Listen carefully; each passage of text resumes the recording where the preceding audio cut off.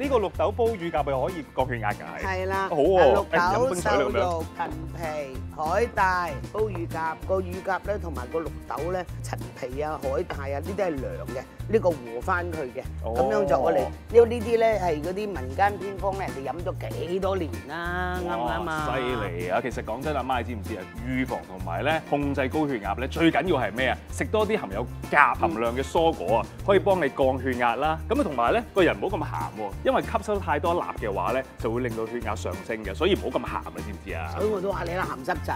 唔緊要，我後生仔幾鹹都得嘅，我同你講，信得鹹，但係都唔好啦，誒，即係我都話你係鹹濕仔係啊，啊太鹹都係唔好啊，唔健康啊。咁啊，同我擺落去煲湯啦好啊。好啊好啊！